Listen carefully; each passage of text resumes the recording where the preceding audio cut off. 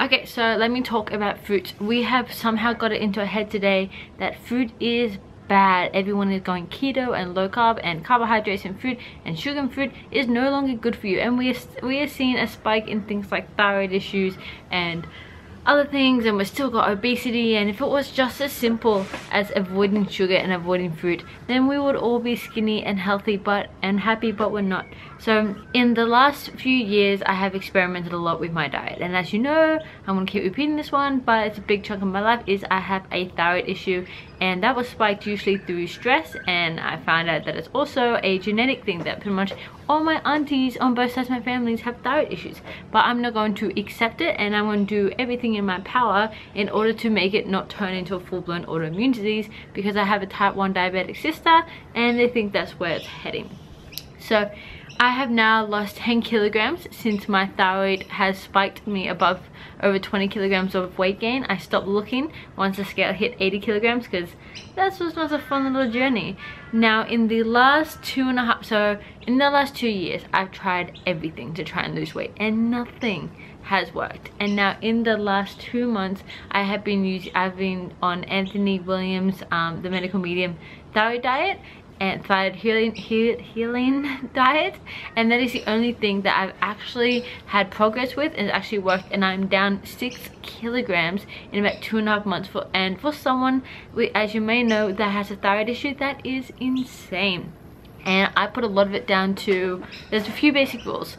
One is nothing processed no dairy no artificial sugar um, no gluten um, limiting and limiting caffeine and lots of water lots of vegetable juices. I have meat maybe once sometimes twice a day things like that. So my diet's changed a lot but it's not hard. It's pretty simple. But one thing i have noticed that's been a huge jump in the diet is fruit. I eat so much fruit. And i had a conversation with the lady at my work the other day and we're talking about how she sees fruit as bad but sees chocolate bars as good. And i have so many clients that have the exact same mentality that they won't binge eat rockmelon and watermelon and bananas because something in their head has told them that this is naughty and they're not allowed to do this but instead they'll find it okay to binge eat chocolate and binge eat like a whole tub of ice cream to fit that craving instead of going for fruit. So i'm going to show you a quick video of my breakfast smoothie right now to give you guys an idea of how much fruit i eat just literally first thing in the morning and i snack on fruit pretty much throughout the day. One of my even meals is just fruit. Now i did film this video yesterday so my hair is a little different. Good morning. Time for some breakfast.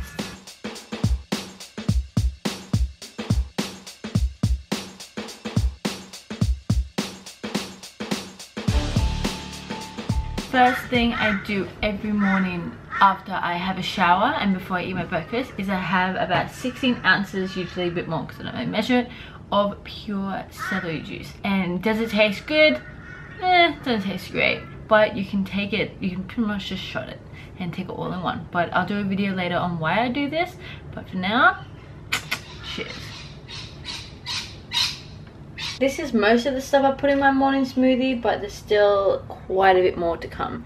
This video today i want to talk to you guys about weight loss which is you know the main topic of discussion in today's society in particular fruit people are saying oh i can only have one serving of fruit so they snack on chocolate bars or candy.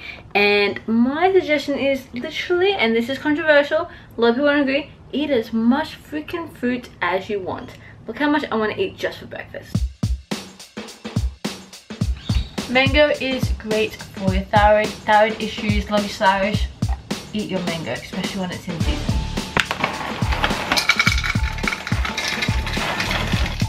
about a cup.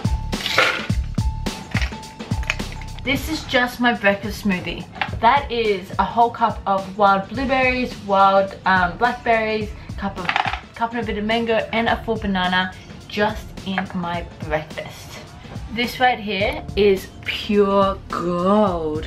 So what it is, is one of my clients loves to fish and he fishes deep in the ocean in the, well, the wild healthy fishes in Australia and not the processed stuff you get in the shop. Now what he does when he catches fish, he gets all the bones, all the eyes, all the heads, all the stuff that you usually throw away because it's kind of gross and he makes a fish broth out of it and then he boils it scrapes all the good collagen out freezes it and passes them to me to throw in my smoothie. Barley grass powder.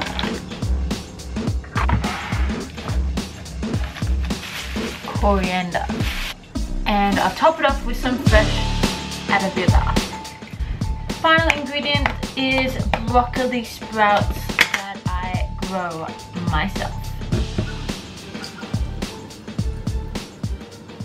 So that gives you an idea of just how much food I eat on a daily basis. So what I want you to guys to take from this video is I want you to be okay with eating fruit and eat as much goddamn fruit as you want. Now there's different levels of healthy weight loss. If you're calorie counting, if you're comp prepping, if you're trying to be an athlete, then you need to eat your certain macros every single day i get it. But if you're the average person and you're just trying to be the healthiest possible you can be and if eating unlimited food means that you're not going to eat chocolate and ice cream and crackers and all the crappy things that you see at barbecues or when you're at friends or when you're sneaking eating foods in front of the tv then i say eat as much food as you want